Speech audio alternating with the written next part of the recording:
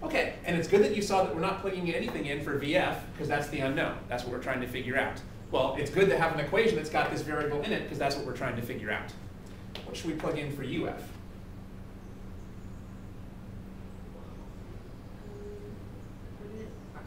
Want to say zero, but it's still the instant before it hits the ground, so doesn't still have some height the instant before it hits the Well, since it's only the instant before it hits the ground, it has negligible height.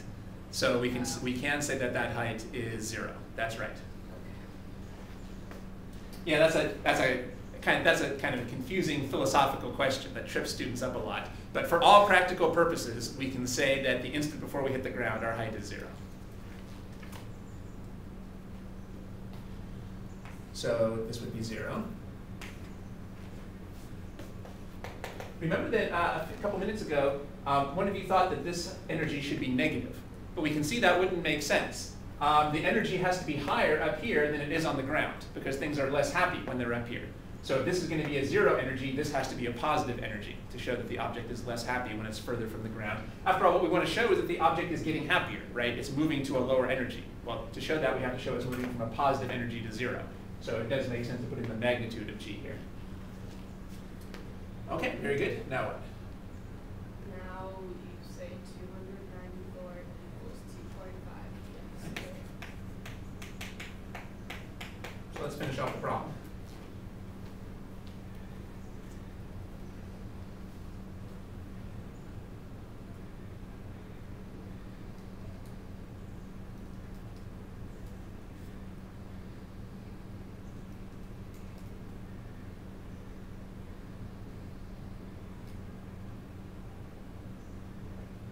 Good.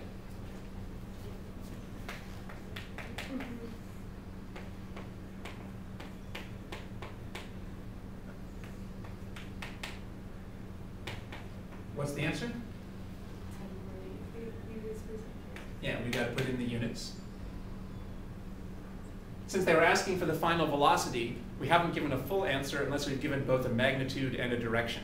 So what would be the direction in words here? Down. Yeah, down. From our common sense, we know that the instant before we hit the ground, we're moving down. If we choose up as our positive direction, we could also say that the velocity was negative 10.8. But if you chose down as the positive direction, the velocity would be positive 10.8. So the simplest thing is just to say it's 10.8 meters per second down. On a test, do we have to say down or whatever?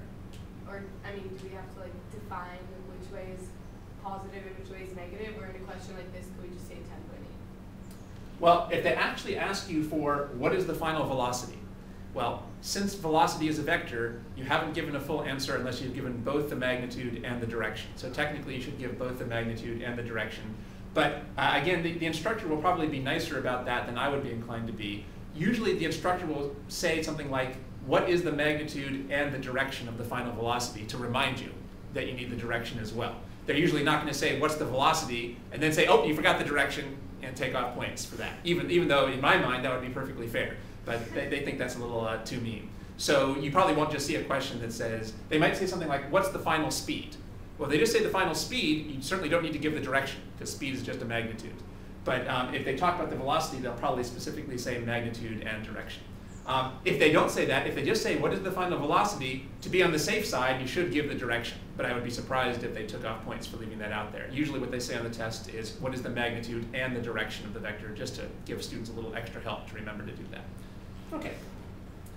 Uh, anyway, when you're doing homework problems though, whether the question asks for it or not, you might as well always ask what the direction is, just to practice uh, thinking about those things.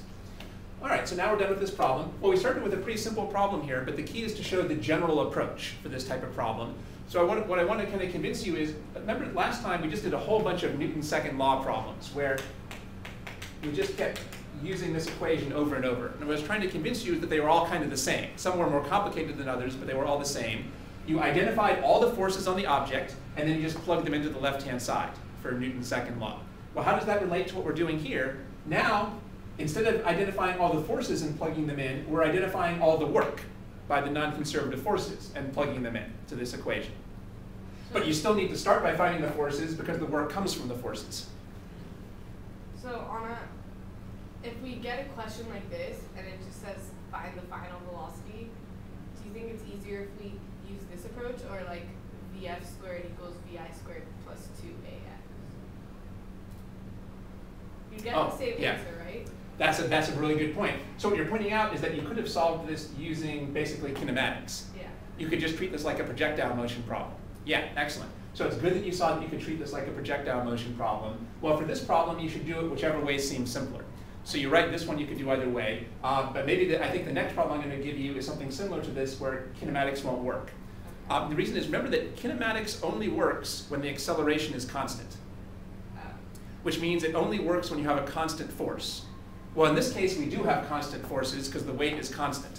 Um, but um, you can easily see problems where the force is changing and then the acceleration is changing and you can't use the kinematics approach that you learned before and then you've got to use work. Um, but when you can choose either one, you should choose whichever one is easier. At this point in the course, um, you should be doing things using work because that's what you're trying to learn. Uh, but it would be good practice if you see that something can also be solved by kinematics to do it both ways to check yourself so that you don't forget about kinematics because that'll be on the test as well. But you're right, there are problems that can be solved either using kinematics or work, so it's good that you thought about that. All right, but again, the general framework here is now identify all the forces on the object. And for every force, decide how much work it's doing and plug it in over here. Well, remember that if it's a conservative force, it doesn't get plugged into here at all. And that's all that we had in this case. Uh, and then we saw that if energy is being conserved, this is the most useful formula to use. When energy is being conserved, we can just say k initial plus u initial equals k final plus u final. Uh, and then we just plug in these individual terms.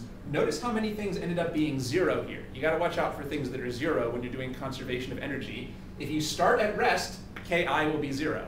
If you come to rest, k final will be zero. Um, if you're on the ground, your potential energy would be zero. So watch for things that are zero, that will simplify this equation. And then we just plug in. Okay, makes sense? Okay.